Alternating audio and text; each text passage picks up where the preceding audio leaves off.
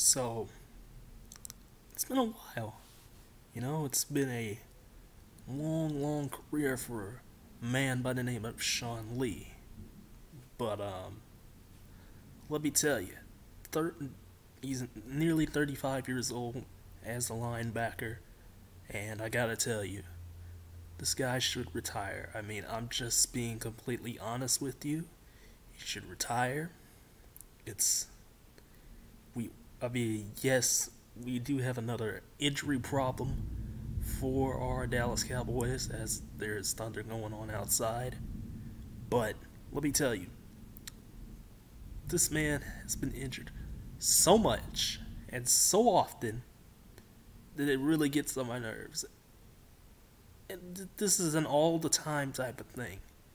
You know, broken wrist, ACL injury, big toe injury, you know. You know, we just keep going on and on and on and on and on with all these injuries. You know, again, 2011, left wrist dislocated.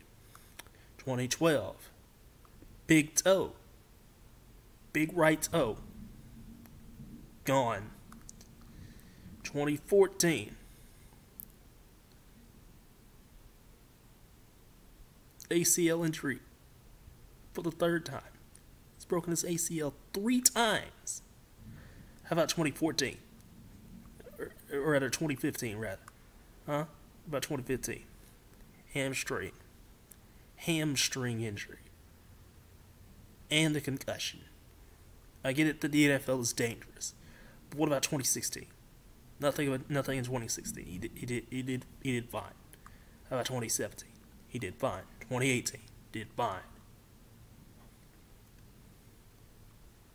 What about what about 2019? For the most part, did fine. But what about 2020? This year. Hernia. Hernia injury. Six weeks. And we cannot just rely on Jaylon Smith, Leighton Vander Esch. Well, not Leighton Vander Esch right now, but uh, we cannot just rely on those two guys to anchor our defensive front seven in the middle.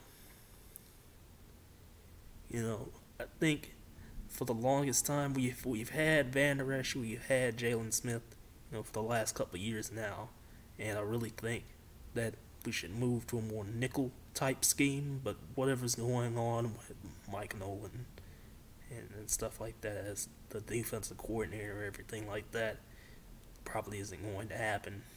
We're still in this. I believe we're still a four-three team right now. But um, things could obviously change, and I'm just so upset, man. Cause it's like this man never stays healthy. Sean Lee never stays healthy, and I just don't understand it.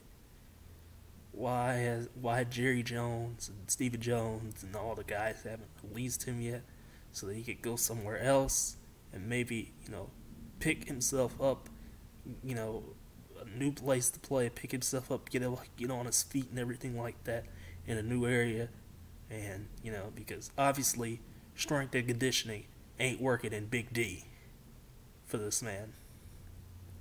It ain't working because he's always injured.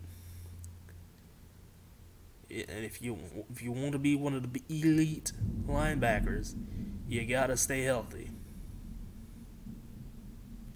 I'm just so I'm just so done, you know.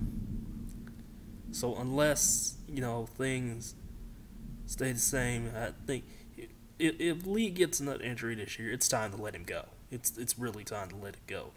He either needs to retire or he needs to go somewhere else. Because if he gets off this hernia injury and he, you know he comes back and gets injured again, then I'm, I'm, I'm just gonna say it. He's he needs to get out of Big D. I'm just being honest.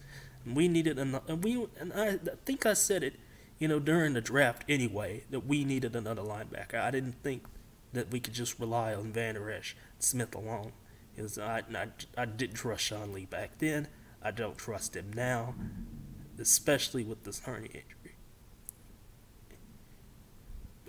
And y'all are probably thinking, oh, well, Michael, he, you're not a guy that plays football, okay? If you're injured all the time, you know, like like every damn day of the week, and you need to not be on the football field. Plain and simple. Plain and simple. So we're gonna relax and we're gonna enjoy Thursday night because there's a football game on tonight. There's a football game on tomorrow, and there's a football all day Saturday and Sunday. So, and a game on Monday. So, again, see y'all. Hopefully, y'all have a good weekend and everything. So, stay safe out there. And, you know, come on down, subscribe, like, share, do all that good stuff, comment, and just watch this video and watch what I think because it, it's it's a grand old time. Come on down to Big Boy Variety. So we'll see you very soon.